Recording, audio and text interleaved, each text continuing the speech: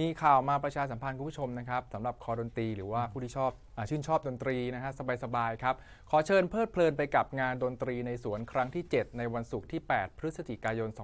2567 เวลา 16นาฬิกาเป็นต้นไปครับกรมประชาสัมพันธ์จัดแสดงดนตรีในสวนครั้งที่ 7 เฉลิมพระเกียรติพระบาทสมเด็จพระเจ้าอยู่หัว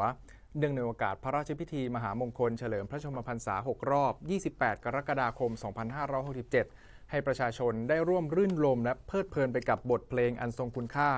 พบกับศิลปินรับเชิญนะครับนำโดยคุณจิติมาเจือใจ คุณโฉมฉายอรุณฉาน และชมการแสดงการขับร้องประสานเสียงจากวง The Dynamics by Voice Academy คอนเสิร์ตเริ่มเวลา 16 นาฬิกานะครับ เปิดลงทะเบียนหน้างานโดยไม่เสียค่าใช้จ่ายตั้งแต่เวลา 14 นาฬิกา ที่หอประชุมใหญ่กรมประชาสัมพันธ์ ซอยอารีสัมพันธ์ เขตพญาไทกรุงเทพมหานครครับอะ